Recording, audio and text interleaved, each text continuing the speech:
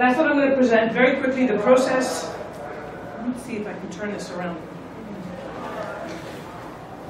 Existing market conditions, we presented the market analysis and the parking study. I'm going to go over it very, very quickly.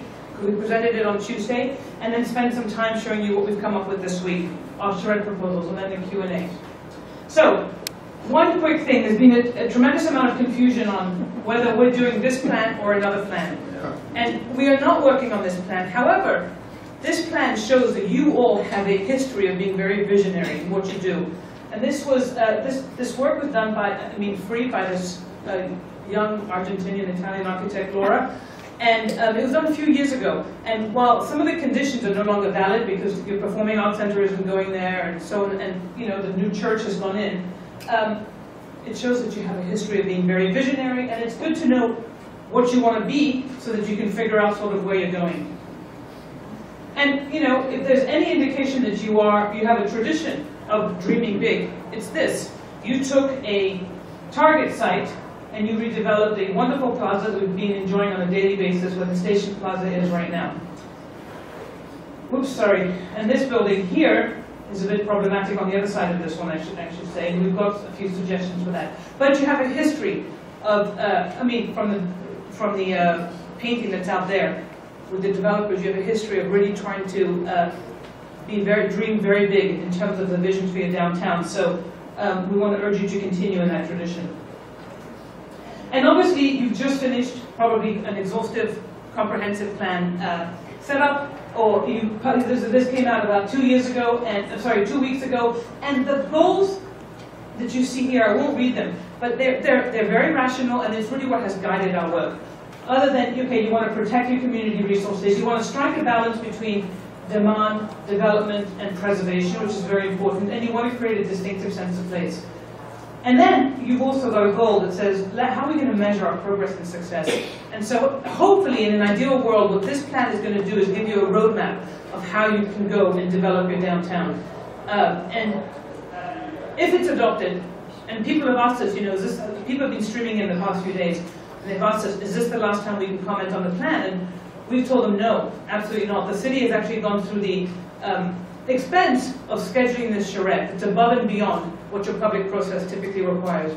And so that's, um, so this is the beginning of it. Now we're going to go back to our offices and put, bring all this information together, and then uh, he'll go through your regular public review process. But hopefully, if it's adopted or a version of it is adopted once you've all had a chance to look at it, every plan that comes through your downtown should be measured against these, these ideas. And so yeah, I just threw in the charrette schedule to say, you know, you've all been very kind to us and very accommodating and very polite and very, um, and, and, and people have come in here legitimately curious about what, what's been going on with some good ideas. And it's been, it's been, it's been a real pleasure being here. And you've got a very nice downtown, and we hope, we, we hope our proposal will have, done your, you justice. So, 275 acres, bounded by Bodleian on the, on the north, Clay, Taylor, and Fillmore, and, Wood, and Woodbine on the bottom. And that's, that's a lot of land. And this, but that's the area we've been focused on. We did, and I presented this on Tuesday, but we did a very thorough existing conditions analysis looking at your street network, looking at where your open spaces are, looking at how your transit works, and, and you've got the, you know, the wonderful idea of the electric cable or car downstairs that's being explored. You've got community facilities, throughout your entire downtown, lots of surface parking lots and structured parking, and, and some historic districts, some existing uh, his, uh, local landmarks, and then a national historic district as well. So we've been taking all that into consideration as we start to move with some certain proposals for you. And we've documented the character as well, not only from a, uh, a physical standpoint, but also from a zoning standpoint. Because what's on the ground is where we sort of take off. We have to respect the zoning generally speaking, what people are allowed to do on their property. So here's the zoning. It's pretty rational overall. There are some uh, strange, you know, sort of outliers, but that can be easily rationalized. But we, but we took every zoning category and we documented it from a, um, from the suburban types that you have here and the urban types you have here as well. And you know, even though your zoning code is much better than in most cities we work in, uh, there, we are going to be suggesting some tweaks, and you'll see we've got a few suggestions already.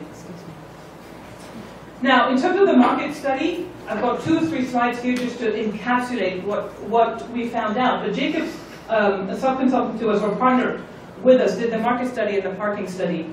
And they, they focused on the metropolitan uh, area, they focused on the city of Kirkwood, and then your downtown. And your downtown has 1,250 people, you're a city of about 28,000 people. And when they looked at the demographics, when they looked at the retail, when they looked at uh, the housing, they really looked at the downtown in comparison to these two, um, these two areas, just as a basis of, of uh, well, of comparison. So we have a lot of statistics about you all in terms of your demographics. A few things really stood out to us. So for example, 82% um, of the households have three or, or, three people or less, and 68% have one or two people. What this tells us is your, your um, the way the demographics are growing are in sort of contradiction to the housing stock you have here. You've got beautiful single family. But what, what Jacobs' housing study has shown us, or the market study has shown us, is that there is a real need for other kinds of housing here. And it's been supported by residents who have come in and said, you know, I heard from more than one person, my child had to leave here, couldn't live here because they couldn't afford to live here. So we've heard we want attainable, affordable housing downtown. We've heard we want expensive housing downtown. There's no reason why you can't have both, and there's no reason why your downtown couldn't accommodate, you know, some nice housing there as well. And the other very interesting, so that was about housing. And that entire study, by the way, is about 100 pages long, and that also will be made available to you. But the other thing that was interesting is that you, um, from a commercial standpoint and an office standpoint, you have about 915 people who live in and work in Kirkwood. And then you have about the same amount, amount of people who are commuting into town and those commuting out of town. So you have about 11,400 people who probably cannot afford to live here, but they work here. And so finding housing, finding a way to capture the housing of those people in your downtown would be a good start. And then those that are commuting out, now there's a lot going to St. Louis, as I explained on um, last week, or on Tuesday, but some of them may be looking for some innovative, some co-working space that they don't, that, that if, they, if that kind of space was created here, you could capture some of those people here as well. And what Jacobs told us here is that there's a need for greater diversity of not only residential building types, but also office types. So we've taken that information, we've built it into what we're proposing to you today. Now, in terms of key recommendations, the first one was remo removing code and procedural barriers to developing small multifamily housing. Actively recruit unique retail. You know, retailing is incredibly complex. It's very difficult. It's constantly changing. What we do know is that those that thrive and those that do well is because they have, they're very creative, they have a real entrepreneurial spirit, they know how to, they know how to market themselves, not only to local population, but to a greater region as well. And you have some incredible, so you've got a lot of good things going for you. You've got a, a downtown with some great character. You've got 600,000 people who go to the Magic House on a yearly basis. You've got 750,000 people who bike on the Grants Trail. A lot of those folks may be on, activating your downtown the way they could be right now. And so just know that there's tremendous potential there uh, to capitalize upon. And you, you need more restaurants, non-chain restaurants, because those that you do have that are successful, we hear, are constantly crowded on a Friday and a Saturday night in particular. Um, we were told you need to address parking from a holistic perspective, and I'll touch on that. We need to encourage developments and integrate the existing character of Kirkwood. So it's okay to have the big scale buildings like you have out here, but you also need a smaller scale. There's more in keeping with a lot of the character that you have here. We don't want to say you shouldn't have bigger buildings, but you shouldn't preclude the smaller buildings too, that can, that can make that development accessible to a much wider range of people. Um, test the market for co-working space. And then Natalie Jacobs said commission a hotel market study, but I struck that out because what we have heard consistently and what we know already is that there is a need for a hotel tomorrow here. So instead, we're thinking you should be considering a retail study, and I'll speak a little more about that later on. Uh, so the, the parking. The parking's been controversial. We've probably, ironically, spent a lot of time talking about the parking. But Jacobs came in, they tagged every single lot in your downtown, and then they, um, they counted the number of parking spaces that exist in every single one of them, and they classified them by public, whether they're private, unrestricted, or private, restricted. So you have in your downtown area close to 6,000 parking spaces. And so at five spaces per thousand or four spaces per thousand, that means you could accommodate easily 1.5 million square feet of commercial. You don't have any, you don't have that at all. But what that study has shown us is that you have more parking than you know what to do with, even though there are some hotspots in some areas where it's difficult to find parking. But of everybody that has come in and spoken to us this week, when we have asked the question, yes, it's hard to find parking right in front of where you want to go, but has anybody ever had trouble finding parking about a block or two from where they want to be? We have heard no. And Jacob's work actually uh, shows that, explains that quite clearly. So they came in here now once on a daytime, on a Tuesday, and they counted parking from 8 a.m. to 4 p.m. And what they realized, and so the colors represent, the yellow colors represented the parking is 25 to 50% full, the greens are 0 to 25%, the orange is 50 to 75%, and the dark red is the ones we really pay attention to, which are 75 to 100% full. But what they realize is collectively, while you have hotspots during the day, as you can see where the red is, your parking was occupied at 41% only. And at night, it's a reverse. Right? You know where the hotspots are, you all know them very well. but 37% of the spaces are occupied. So, um, as hard as it is to believe, and the perception that there's a lack of parking is the real one, we don't want to undermine that. The reality of it is, you'll have to all decide if that's where you want your, the city to focus money in building a parking garage, or could that money be spent on a better performing arts center, or improving your streets, or adding bike lanes, or a whole host of ideas we have for you. That will have to make its way through the public process. But we feel we would be um, derelict in our duties to recommend you build a parking garage unless, unless, and you can pilot program this and do a lot of things, unless it's done on a city property and maybe they enter into a PPP and there's a role, there's a need for it, you all decide after you, it's been evaluated that you want more parking. It's not impossible, but you'll have to figure out if that's what you want. Now, people have said, I can't find parking, it's hard to find parking, but nobody thinks twice about going to the Galleria Mall and walking the 10 minutes it takes from one end to the other. That's your mall, right? So that's the same walk that you have downtown. But this could be way more pleasant. We're used to doing this, and we don't think twice about being in here and walking from one end to the other. You want your downtown to be that good too, right? So um, and if the environment is conducive to better walking, and uh, people will do it, and it'll be good for your retailers because they want lots of foot traffic in front of them. Now, in terms of parking management strategies, yeah, I have to throw this in because it's a little bit, it's a little lighthearted, but there's lots of great ways in which to manage your parking, and Jacob is going to help us sift through this, but I wanted to list all the number of ways in which you're going to be made. So the parking is going to get better, and the parking is going to get better because there will be opportunities to uh, to negotiate shared parking agreements to decide, you know, to make it more obvious where people can park. There are opportunities to regulate parking from a time or a use or duration standpoint. Some people have said to us, we need 15-minute parking in front of some shops.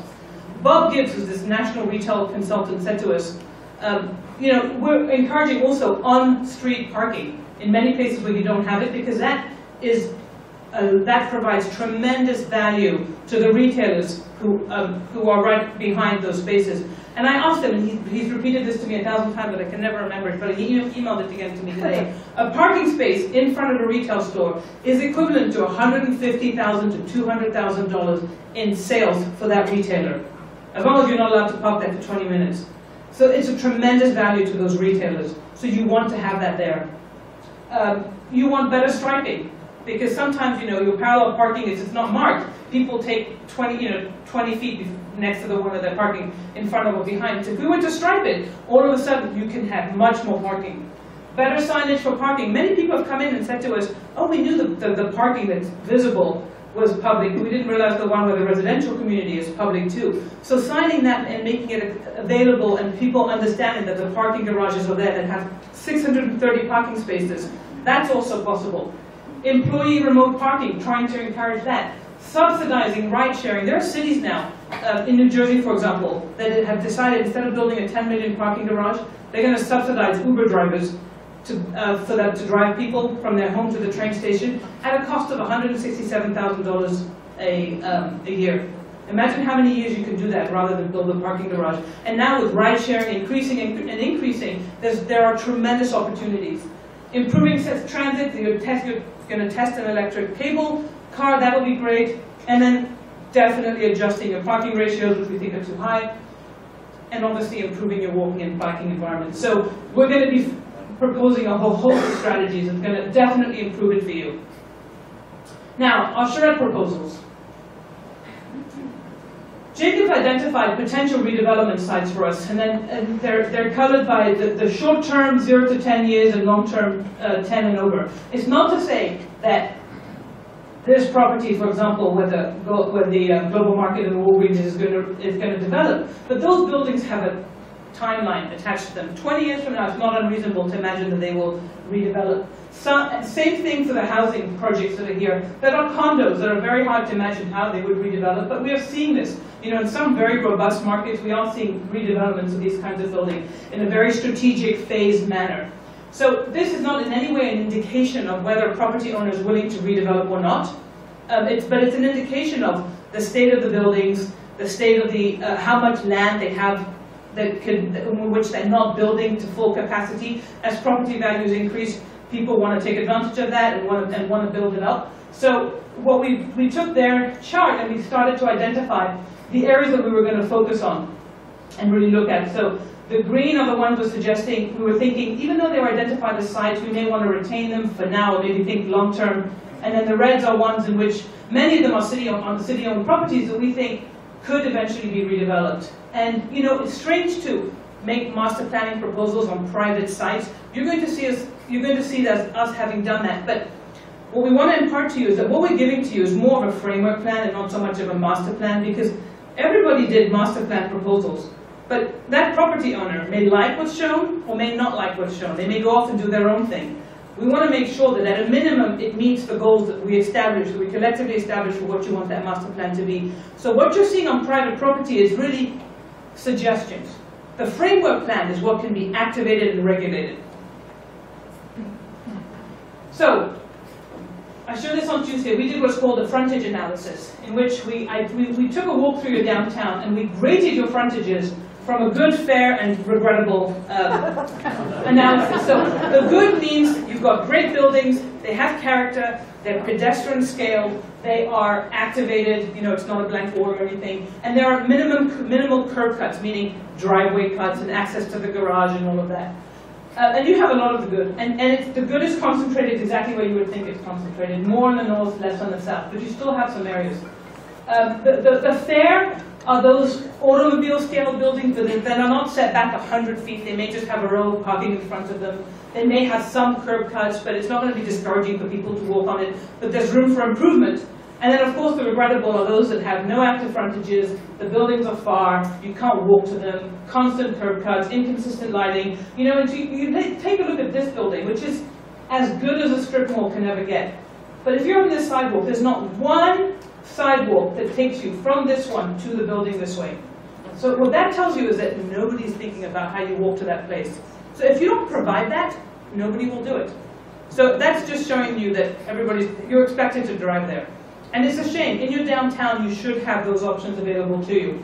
So we took this, and from this plan, we said, okay, every city, the city can't invest their money everywhere, and they have, They've. Uh, we often hear, where should we put our money first? Where are we going to get the biggest bang for our buck? And where you get the biggest bang for your buck is where you already have a lot to work with. It's not to say they shouldn't go investing in other places, but what's also important is for cities to, especially in their downtowns, to do what we call an A, B, and C grid. C grids are typically for alleys. You don't have a, a system of alleys here, so we've just restricted it to A and B. The A grid is to say, everybody deserves in their downtown to have an excellent pedestrian experience. And not only an excellent pedestrian experience, but it needs to be continuous. You can't be walking along a street and all of a sudden have a degraded experience, and then back to an A experience. So that, that loop has got to be continuous. On the other hand, cities also need places for drive-throughs, for car washes, for um, you know, all the uses that you need to keep a, city functioning. And for, you know, where you allow parking. So, you know, you have a condition out here where, and not to pick on the building, but, you know, where the Station Plaza development where someone went to the trouble of lining up parking with residential, and then right across the street is a visible parking garage. That shouldn't happen. And if you have an A-B grid, it's okay to have exposed parking garages if they're facing other exposed parking garages. It's not okay to have exposed parking garages if you're facing residential. But you don't want to ask every developer to line themselves. So if a developer comes to you and the city says, Where do you want to be? You want to be on our A street? Guess what? You're going to line your garage. You don't want to be, you want to be on the B street? We may allow you not to line your garage. And it starts to set up a system that is, that, that decides, and yes, it's different rules and different regulations, and you can do that because the ARB already has rules that act, that actively, they, I can't remember, they have preferred and discouraged rules, and that's really good. They, they already know that sometimes they have to require that the, that the building behave in a better manner, and sometimes it doesn't, it's not so important. So one of the recommendations we're making is that it be tied to this AB grid that we're giving you. Now, so our preliminary framework plan, which is really what's regulatory, a master plan in and of itself is not regulatory, it's a vision plan. This could be regulatory in the context of where should you, so your B2, which is most of your downtown, you, in many cases you require retail at grade. And you also, inadvertently, you're incentivizing retail because you reward it with different, mixed use, you reward mixed use with different height. So that has had the consequence or the unintended consequences of not providing you with the housing you need downtown. And everybody obviously wants to do mixed use, but there's only so much mixed use cities can take, and there's only so much retail you can take, and you want your existing retail to be successful before you go and add a whole bunch of new retail. So where should you be absolutely requiring retail to occur? You know, obviously on Argonne, some of Jefferson and down and up, up and down Kirkwood, but not for everywhere. Where could it be encouraged but not required? And where do you let it go and say, you know what, if somebody wants to do residential here, that's perfectly fine. And why would you not allow them to go taller if they're going to do residential that, that, downtown needs? So these are conditions you'll have to think about that we'll be having conversations with the city about as we start to look at ways in which we can tweak your zoning. Um, now, you also have a very different grid here. You've got very nice blocks, and then obviously up here it gets much bigger. So we're, we're also suggesting what we call uh, cross-block passages, where those could be. It's hard to get a street, it's not impossible, but you can get pedestrian connections across here, and you'll see how that's been detailed. Where open space is provided, where you have civic spaces, and what we call terminated vistas. You know, some streets terminate on some important element. And for example, we identified that from Jefferson, you have a parking lot here and another parking lot there, but if this was converted, and you'll see a rendering of this, into a nice cross-block passage that terminates on this wonderful train station you have, um, all of a sudden, you know, it's a wonderful walking experience. And, what, and so the terminated vista is basically telling property owners, if you terminate on the street, you have to give a gift to the street in the form of whatever. A cupola, a tower, a spire, a bench, a beautiful tree, it can be a whole host of things, but it's basically acknowledging the fact that you're in an area that deserves special attention. So, our preliminary framework plan is about mandating retail frontage in the downtown core, creating cross-block passages to break the scale of your oversized blocks, being specific regarding the form of open spaces, so not just saying provide 10% open space or 15, but what are you giving us? A plaza, a park, a green, a square? It's important to know that because one, it needs to be fronted by street, so it's not leftover thought after space, or thought, you know, you haven't thought about the space. And two, if it's a plaza, it's one kind of space. If it's a green, it's another kind of space. So we're going to give you rules for that too. The termination of important, vis of important vistas and pedestrian and bike connections. So here's the illustrative master plan, and I'm, I'm zooming into it, so don't worry about it. But it basically incentivizes, don't try to read it in other words, um, incentivizes small-scale redevelopment in downtown because the housing said, in the next five years, the housing study said in the next five years you can accommodate maybe an up, an up to 220 new residential units. It's not a lot, but it's a decent amount, and that can come in very different forms. So um, what we did with the master plan is really try to encourage a whole variety of, of, of building types. And you have that wonderful small-scale variety to your downtown, and you do not want to lose that. Because if you lose that, you start to become like every other place.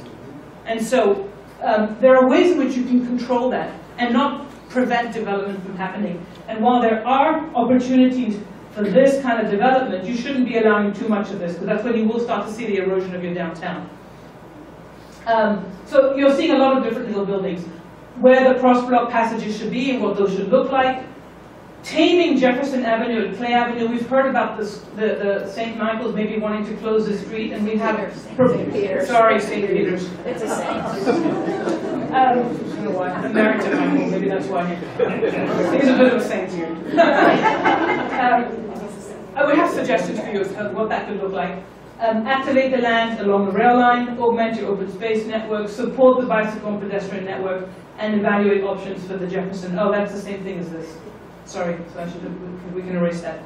All right, now, and, and, you know, Mike threw the five-minute ped shed over this, which basically shows you where your downtown core is, which is exactly what that five-minute walk is. And, you know, and by the way, I get the easy task of sitting here getting to present this work, but we have, you know, where are the designers? Greg and Mike and Javier and David, who's still drawing, are the ones who really deserve a lot of credit for this, for having drawn While it is, while it is, um, this looks like little tiny buildings and little tiny greens, it is incredibly well thought of. And I'll tell you why it's very well thought of, because you have existing parcels lines and you have existing property lines.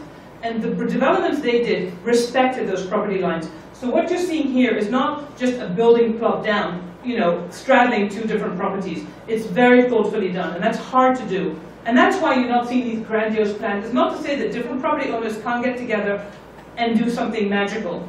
But we wouldn't be doing you a service if we were just imagining the property owners were going to get along and do that. It doesn't preclude it, but we're, we're, we're taking, we're, we're developing this from, from a, from a, an understanding of, well, how do different individual property owners get to develop their property. So this is a very complex map. You can see all the different property lines.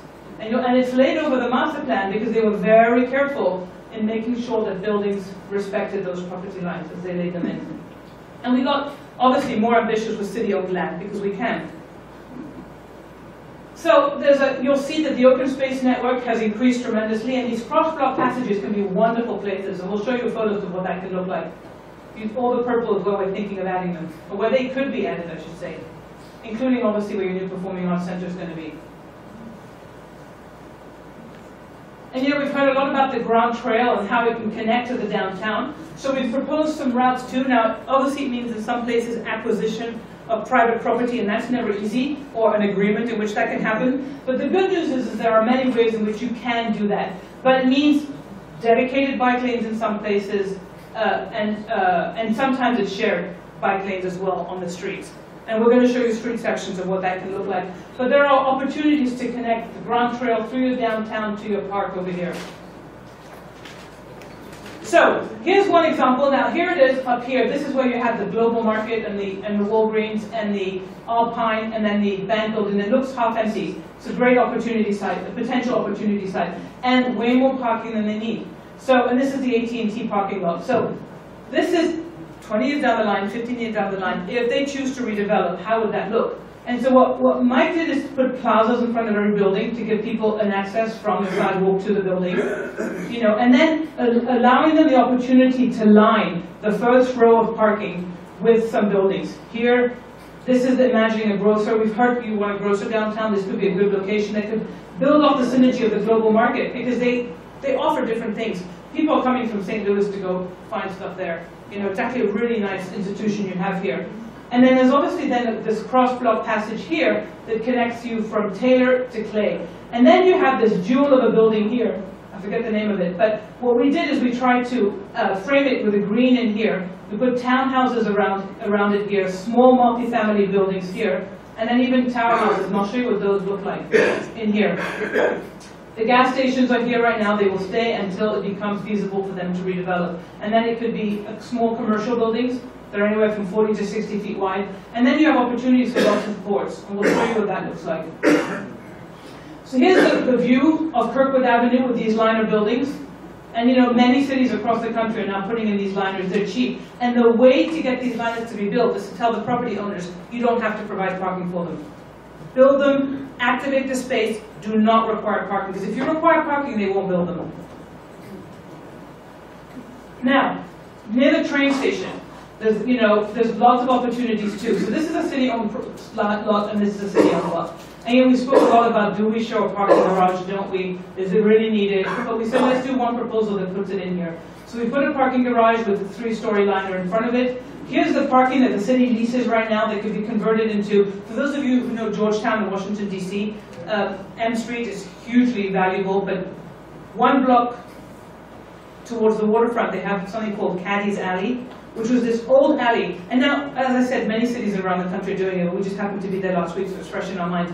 They, and they, the Cady's Alley is a wonderful place where the businesses who can't afford to be on Main Street can be incubated in those alleys, and they can be cheap, and they can be funky, and the, you know, the young ones love to hang out there. And so we are going to propose that for here. And so maybe if this, there's about 80 spaces here, they can go in here.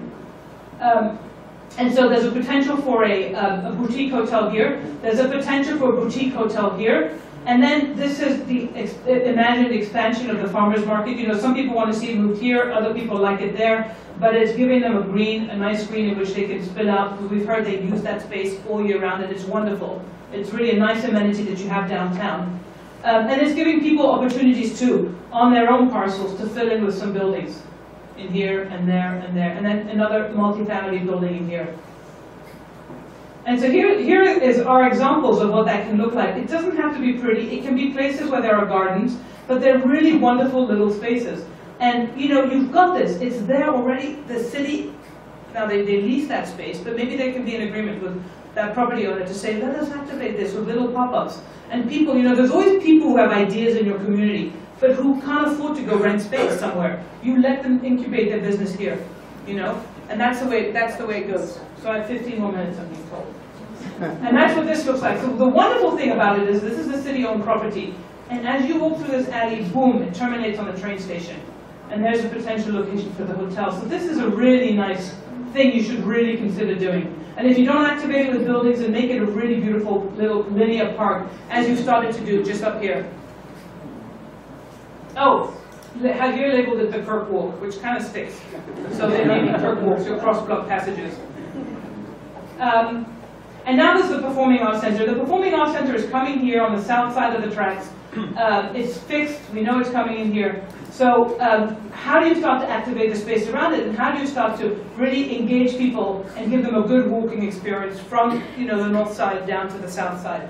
And so what this is starting to do is show you how, um, how Monroe can be activated with live works or multifamily uh, buildings here with opportunities for restaurants that can spill out in, into a terrace here. There's a nice plaza here, we've augmented it.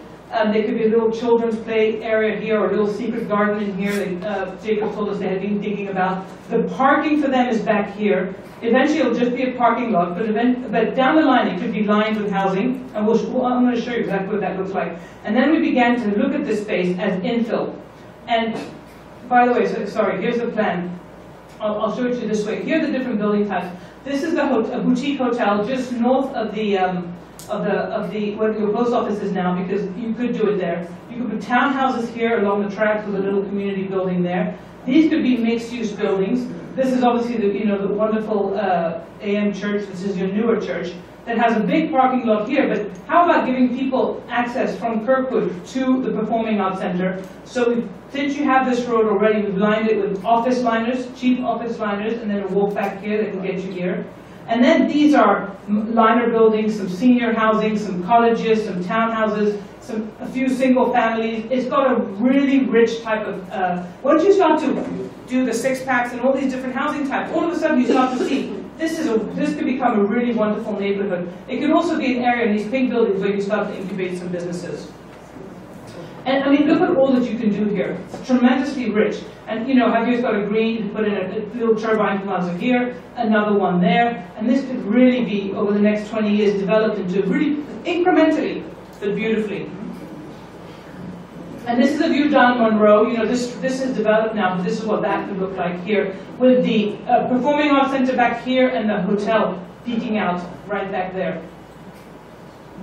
Now, if you were here this week, you heard us speak about the missing middle housing, which is, you know, you have the single family, you have the, the tall, full five-story multifamily, but that missing fabric in between, which is what our cities are made of, and in particular, what your cities are made of, um, need, need to be reintroduced into our vocabulary, into our, into our lexicon of how we build. We need to be encouraging developers to build this kind of housing.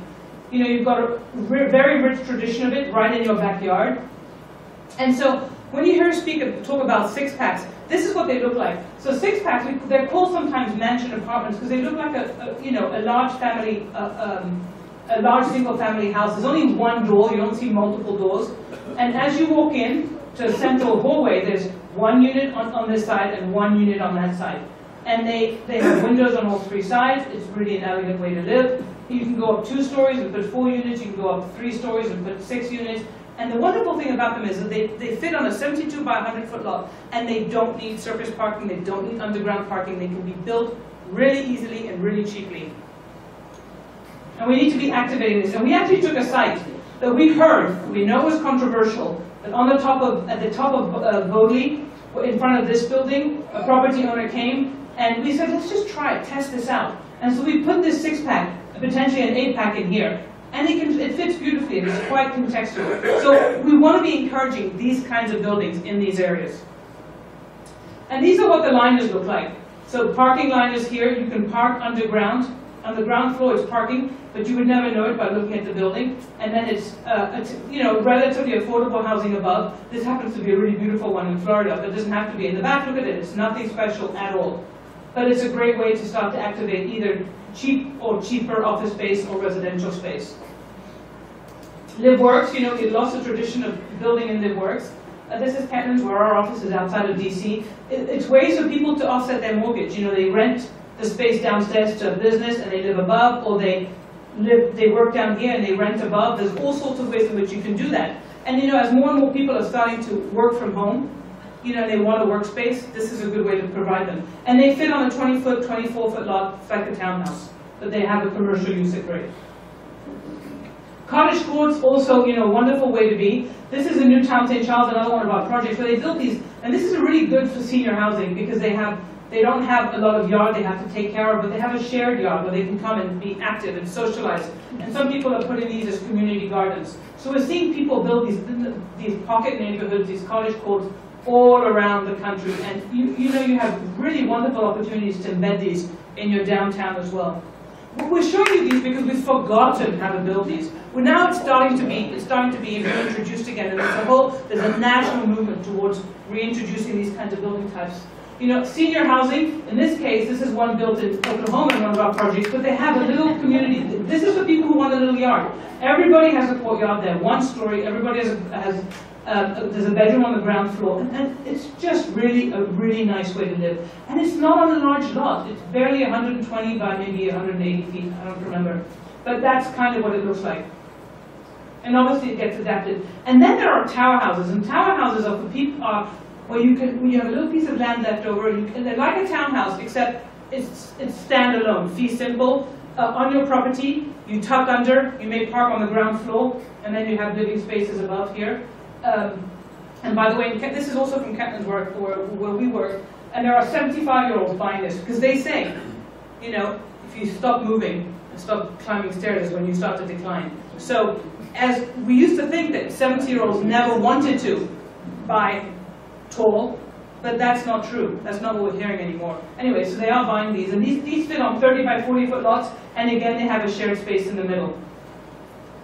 And so then um, Greg took some of your housing, so this is some of your uh, multifamily buildings that are quite stable for right now, but 20 years from now they're going to look aged, and they may want to redevelop. So how do you re redevelop this site that's more in keeping with the residential character that you have on Clay, but, that, but retains at least the number of units you have here?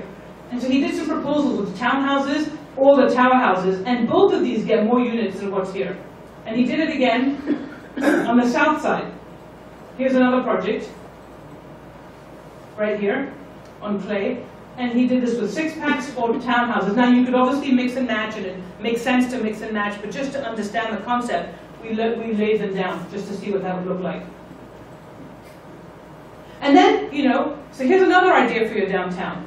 You know, so another, every designer has their own ideas. And in this case, um, this is one in which David noticed that the, the rail line has this wonderful arch you know, crescent shape to it, which is actually very rare. And so, and you're looking at the back of the building here, and you thought about, well, why don't we append buildings to it here? So that as you're crossing here, the crossing gets tight, and you can see really nice, you know, you can have some very nice buildings all along the edge here. There could be all kinds of spaces, from residential to office and all of that. The train station is here. You have a grassy area here, which is maintained by some kind of a Kirkwood club, but it's got bushes and everything. Well, I would take it down and put a plaza there and just activate that space too. There's a potential room for boutique hotel, some buildings back here. This is just basically showing that these buildings could go taller, they could add to their floors here. And then you're going to see we've got a bunch of sections for Argonne, and we've heard everything from take, get, get rid of the median and give us wider sidewalks on the edge, to increase the size of the median, and we've done, we've done both, and we're gonna show you both. But they're really wonderful opportunities to um, really think of the space. This is really unique space you have here, and, and it's incredible how, how beautifully it can be activated. And again, the idea of framing, the, giving the farmer's market or the market that's here, you know, a nice, decent, elegant green in which they can, their, their produce can spill out into, and another opportunity here maybe for a boutique hotel. So, now I know this sounds crazy, but you talk about how, how can the city create value? Well, they can plat land and then lease it out to market pavilions. You see these kinds of buildings. Now, this is England, okay. This is San Jose, California, and this is uh, uh, Alpharetta, Georgia, where they've got these big greens in the middle and they activate them with market pavilions. And you have the space to do that on Argonne. And so here he actually took that building and put it right in your downtown. Here's what you look like now. Here's what that could look like. Not, we're not saying you should do this kind of architecture, but you have the width to make these little pavilions, these follies, these wonderful little buildings that, you know, even they could, people could spill out. They could also be your incubator uh, office space or retail space. Um, and I'm going to show you what that looks like. On, so very quickly, because I, I don't have a lot of time, this this this building is problematic on so many levels, and we know that the retail struggles here. No, and it's a real problem because you have the station plaza here that's really nice. It's your downtown, and so you really need to be thinking about how this can be fixed. And we've got ideas from. Uh, well, this is what it looks like now. Even if you were to take a, a glass box and literally, literally append it to the building and give that that owner who struggles with their retail the opportunity to come out and sell their wares out there. That's important to do.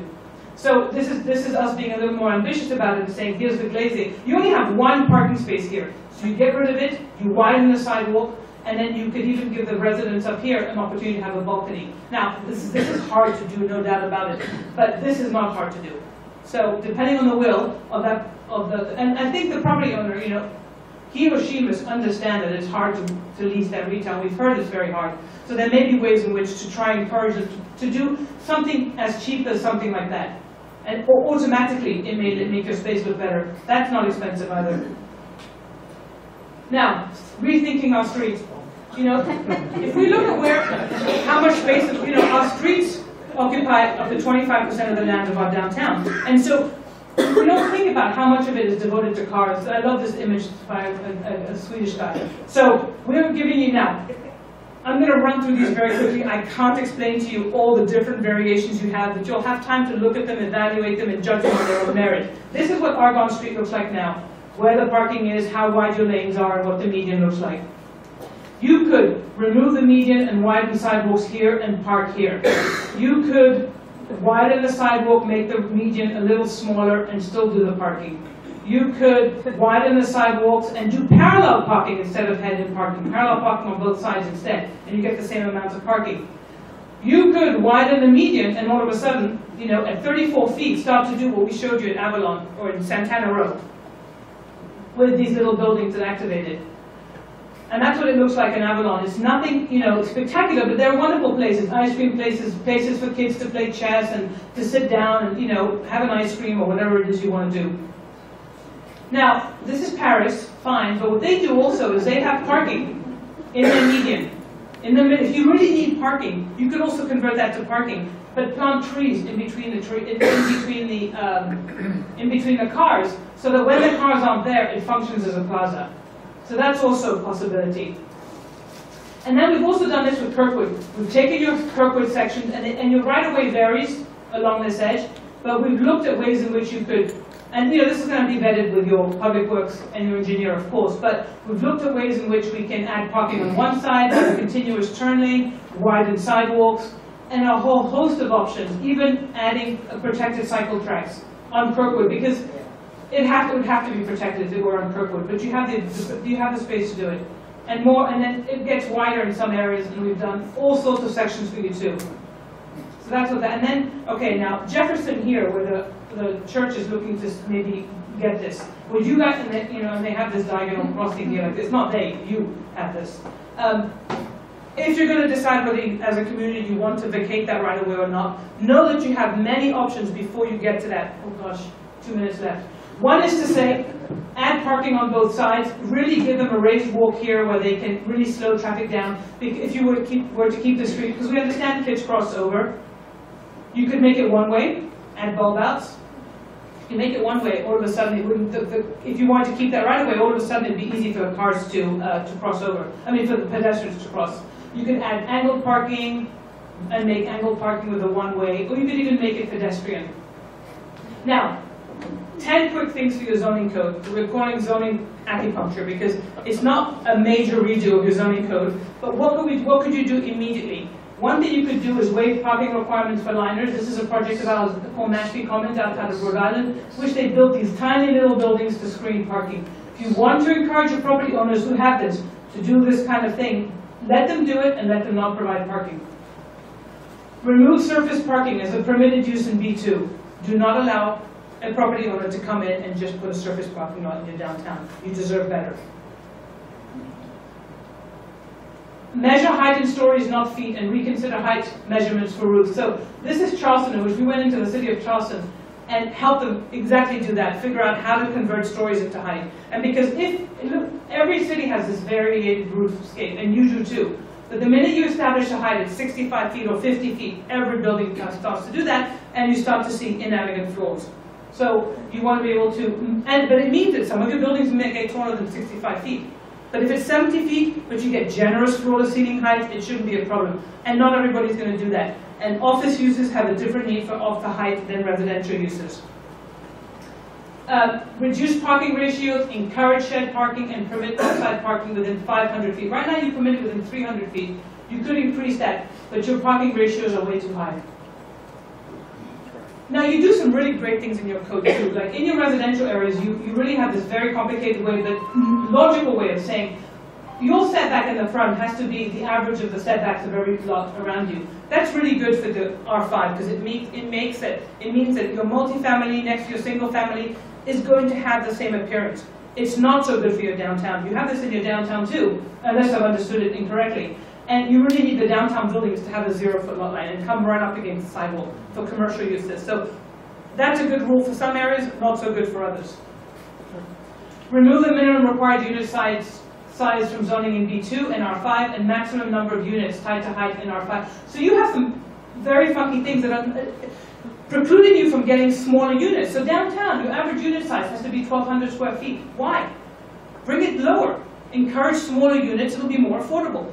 That's one thing.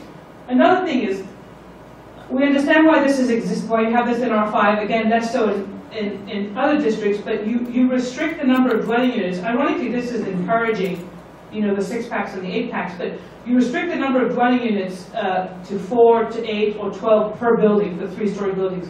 We understand that, but it should be maybe, you can achieve that, but still give property owners the ability to maybe do six units per floor in a smaller building. So that shouldn't be so bad.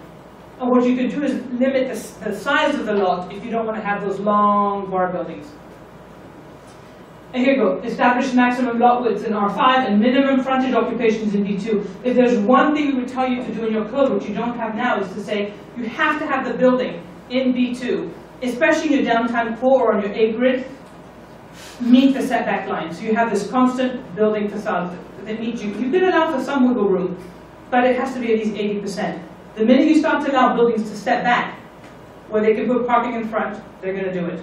So that's the first thing you should do change. I didn't do these in any order. Increase the maximum lot coverage in R5. It's too low at 40%. It will not allow you to do these mixed, these missing middle housing types. Regulate retail by the framework plan. Revise your, your heights accordingly. And Canada, the ARB has some great regulations, which is just beginning to look at them. They already have preferred element and discouraged element. So how do they know when to require it to be preferred, when it should be discouraged? Uh, you know, developers are allergic to being held to different standards. So the AOB grid could be one way in which that's activated. You may find another way, but we're proposing it be done on the AAB grid. That's my last slide. Now, so one thing, that's the Roman oath. Men do not love Rome because she's beautiful. Rome is beautiful because men have loved her. You want to remain lovable. And, and if you are lovable, people will continue to come here and visit you. Now, another thing about your city hall, and I know this is controversial, but I gotta say it. You are an elegant city. We understand the trauma you went through eight years ago. but you have this incredible city hall. You've got to tell people to park in the front, but enter, and park in the back, and walk to the front and reopen the front door to you uh, uh, and, and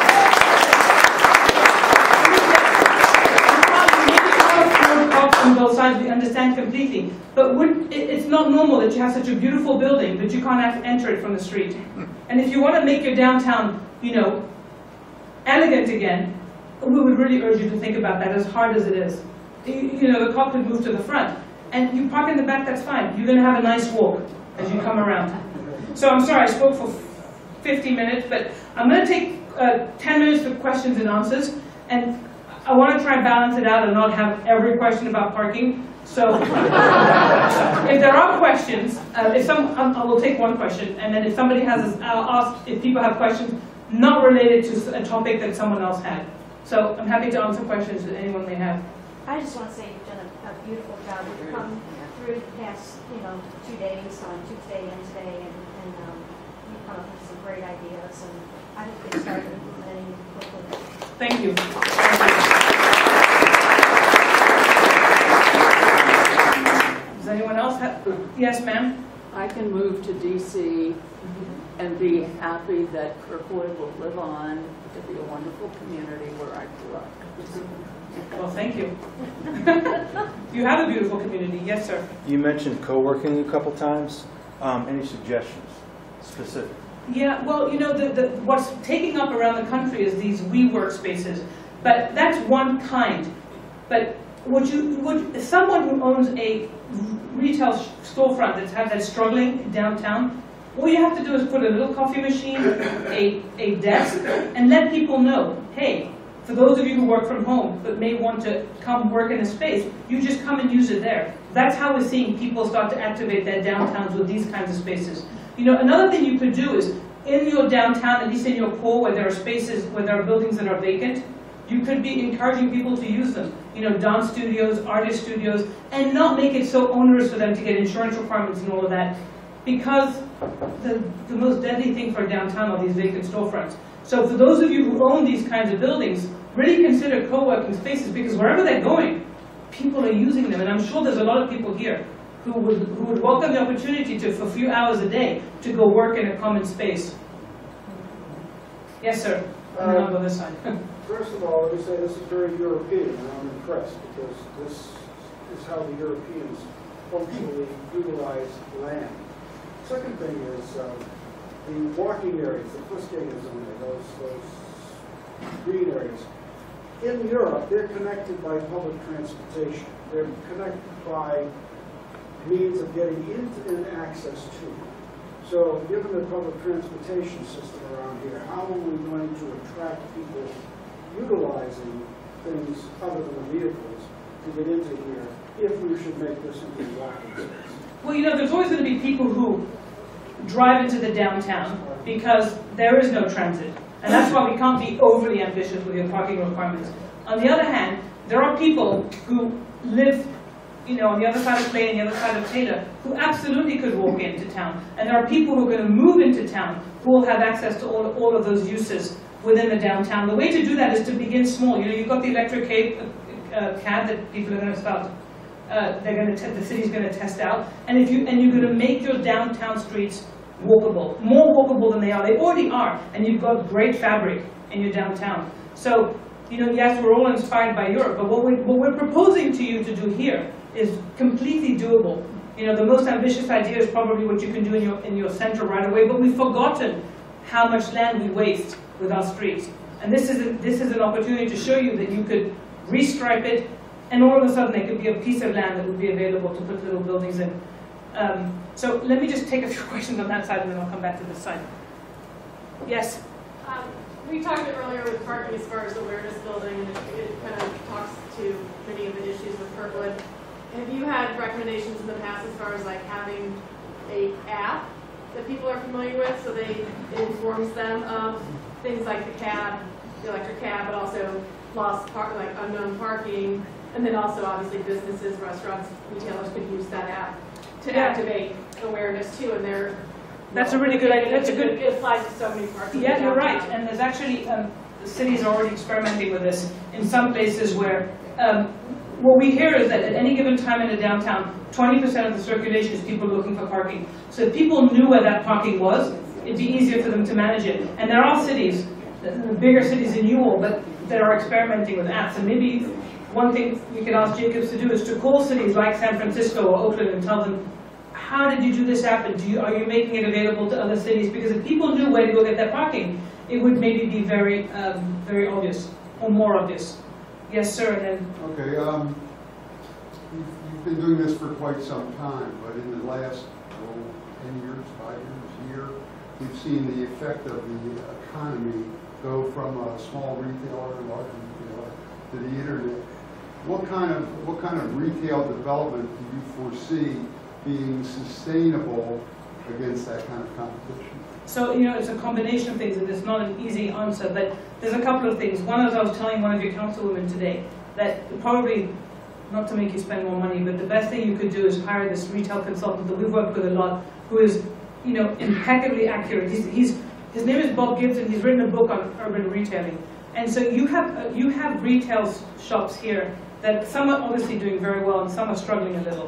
What he does is he comes in and he literally, and, and some of your storefronts don't work at all. He will, he literally, you know, and, but, this one out here, to add to the problems that that station plaza one has on the other side is reflective glass. Like you don't put reflective glass in shops where you want people to be able to see into it, as an example. So you have, and I'm sure, I'm sure Donna with the downtown authority is working on, or the downtown Association, is working with property owners to try, at least there are basic rules of what, how you should manage your storefront. People have to be able to see into it at least 20 feet to be able to be pulled in. You know, there's, and this is science. I mean, people have studied this. You know, you have eight seconds to capture somebody's attention as they walk by your storefront. So that being beautiful is one part of it. The entrepreneurial and creative spirit of the people who run those shops is also part of it. Making sure you have the right mix is another part of it. And it's very difficult because, you know, what we're suffering from in Kentlands, for example, is a lot of nail salons. But it, when the buildings are, are owned individually, it's very hard to preclude one use from coming in versus another. So it's a whole host of strategies. The same way you're looking at your parking in a whole host of, in, in a very global way, the retail has to be looked at globally as well. Because, but what you have is character and, and buildings, and you, and you need to preserve that. And you have to do what you can to preserve that. And what you have to do is frequent those businesses and support the businesses, and don't only order from Amazon, we all order from Amazon, and I love Amazon. But, you know, you have to support the local businesses that are here. And if the environment is made to be that way, then people will do it. But it also means those shop owners have to be incredibly resourceful and, and, and resilient to a certain degree. I can probably take one or two more questions before we'll go to Commissioner, Councilman Ward and then you, sir. Uh, Comment. Uh, One of our residents works for a company that puts sensors in parking spaces, and it works by a phone app. And I introduced him to the mayor and to our city administrator, so hopefully we'll see something happen with that, so people can drive around and they'll know where an empty space is. And uh, second, uh, a question for you, because sometimes our voices are just as ignored as everybody else's. Um, Comment on what the architecture is for our theater, what you think of it. No, I don't want to do that because it's not my place to do it. I think you all have to decide what kind of architecture you want for your, for your performing arts center. And we understand that there is a, um, that there's a cost to it. Um, what I would do is tell you this.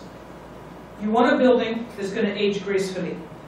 That would be my, that would be the only requirement we would put for your performing arts center. It can be modern, it can be traditional, it can be anything you want. We've only seen one rendering, so it's impossible to judge it. But, um, what we, what, you need a building that's not gonna be expensive to maintain, and you're gonna need a building that's timeless. Your performing arts center has to be timeless, um, irrespective of style. So those would be our two comments we give you, because that's gonna be a real catalyst for development for your downtown. So you really want it to be. And there are great examples to look at, you know, around the country. Yes, sir. Can you control the type of retail that you, that you get in the downtown? An example is, we had a bookstore on a corner up here, and all of a sudden we have an AT&T store. Yeah, when you have the mattress store in the corner, for example. Yeah, yeah. Yeah, but you know, you have to feel, feel for that, for that property owner Right. who, who, probably couldn't get anything better than a mattress store, you know, in that corner. Eventually, that lease will run out. Uh, So cities have precluded certain uses from coming in, but there are unintended consequences to that. And you are at the cusp of, you know, you're not quite a revitalized downtown, so you don't want to be precluding certain uses from coming in. But you can require property owners to maintain their storefront. Like that mattress store, I would tell them at a minimum, you're not allowed to have six posters on your windows, as an example. You know, one poster or whatever your signage says. So there are ways in which to make the storefront more elegant, even, you know, you know, buying a mattress is necessary, not the best use. Eventually, the property values will be such that that property owner will, will get a better tenant. But why can't we just be proactive? Well, you That- could. That property owner only cared about the square footage cost. If we had brought them four other, you know, uses that would have given them the same property, uh, I mean, per square foot of cost, they would have chosen it. Yes. We need to be proactive. Yes, you do. And, um, and if you do so, you'll, you'll have certainly more success doing that. So, you know, we're happy to take questions outside, but we were told 6:30 city council starts. Oh, I think the, the the mayor would like to say a few words. Thank you so much. Just so everyone knows from the city standpoint, this is just really the start of the process. You know, we're just seeing this for the first time. I mean, we were so fortunate to get such a reputable, worldwide, well-known firm to come in and give a fresh set of eyes to downtown. As, as we all know, and you said it earlier, the best way to move forward is to, you know, improve on your strength. And that's really what we're doing. I think the whole city council looks at it that way. You know, downtown is what Kirkwood is. No matter where we live, people think, when they think of Kirkwood, they think of downtown. And so we want to do everything we can to make it better over, uh, over the years, and that's why, you know, this kind of study was done. So this is just the beginning of it. This is, you know, this is just the final presentation of their visit here. So over the next months, years, people will have plenty of opportunity to look at things. There's going to be development things, zoning code changes, so it's a long process. But uh, I'm just thrilled that uh, we did it, the city did it, everyone participated, and just know we're just at the start of this. But it's going to be, it's going to be a good process. It's going to be great for the entire city. So thank you very Thank much. you.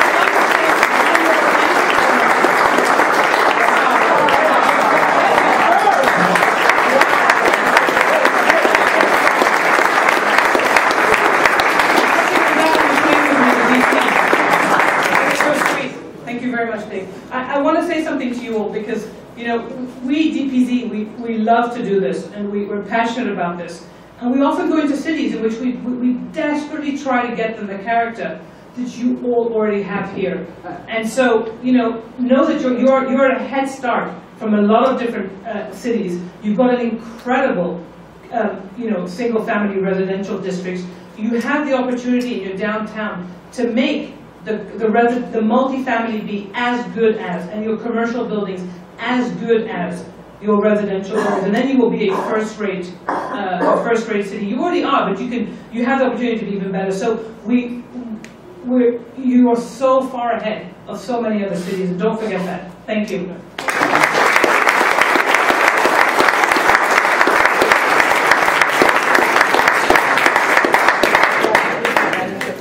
Well, I'm gonna, I'm gonna stay here until he.